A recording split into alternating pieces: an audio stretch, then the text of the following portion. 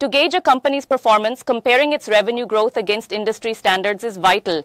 Lagging behind might imply losing market share, highlighting the need to monitor sector-specific growth expectations regularly. Analyzing past revenue trends helps identify patterns.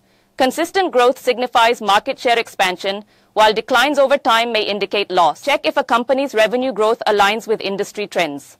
Growth during market contraction suggests market share gain, while decline in expansion indicates potential loss. A growing customer base signifies market share gains.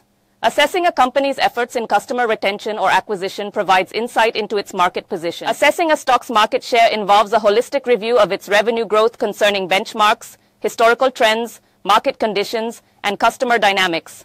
This analysis goes beyond luck, requiring a deep understanding of a company's financial health and industry positioning.